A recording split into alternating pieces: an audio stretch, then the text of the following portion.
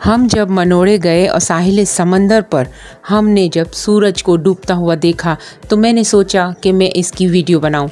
जैसे ही मैं इसकी वीडियो बनाने लगी, कुछ ही पलों के अंदर अंदर मुझे आसमान पर नज़र आने लगा टूटा हुआ एक तारा, यानी टूटता हुआ तारा जब तेज़ी के साथ शूटिंग स्टार भी जिसे कहते हैं, वो तेज़ी के साथ दूसरी तरफ़ जाता है इत्तेफाक से डूबते हुए सूरज की वीडियो बनाते हुए जब सूरज थोड़ी सी देर के लिए मुझे मिला तो मैंने उसको देखा, उसकी थोड़ी सी वीडियो बनाई, फिर इसके बाद इसके पास, इसके आगे से शिप गुजरने लगा।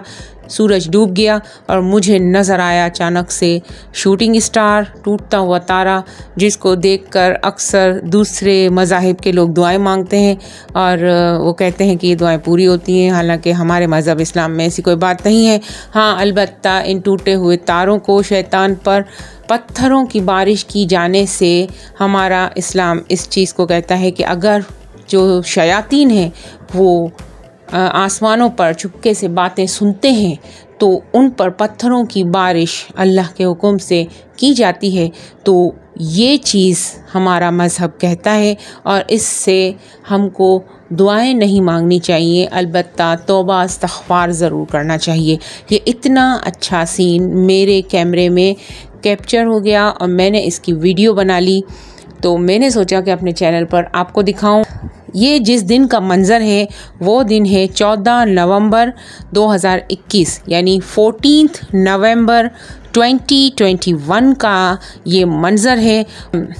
कराची के साहिल मनोड़ा पर फिल्माया हुआ ये सीन है और हम गए थे, इत्तेफाक से हम लोगों को ये मंज़र दिखा मैंने आप लोगों के लिए वीडियो बना ली।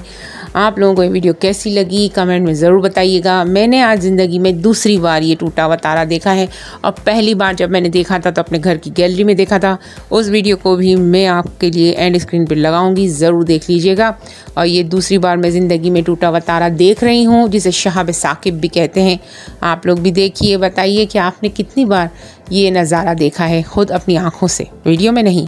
और आपके कमेंट की मैं मुंतज़र रहूँगी।